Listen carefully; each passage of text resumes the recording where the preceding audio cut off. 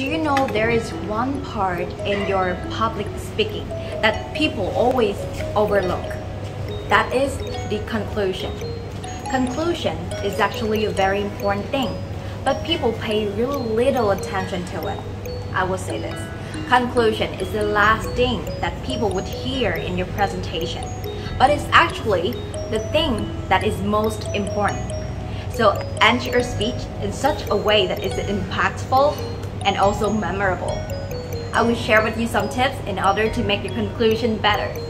Firstly, summarize your main point. Summarize your main point may sound like the most obvious and the most straightforward way, but it is an effective way. What you have said from the beginning to an end, recall them again in the conclusion in order for the audience to remember them. Secondly, tell a story. If you tell a story at the beginning of your speech, in the introduction, in the conclusion, you may want to repeat the story and give it an end. Also, please give a lesson and action for your story. Lastly is the call for action. Why do we need a call for action at the end of our speech? Because every speech has an, objective, right?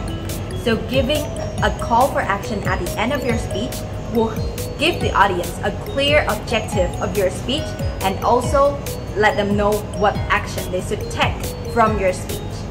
So these are tips for you to firstly not overlook conclusion anymore and secondly nail them in any of your future presentation. Why not apply these three tips right away in your next presentation with your manager?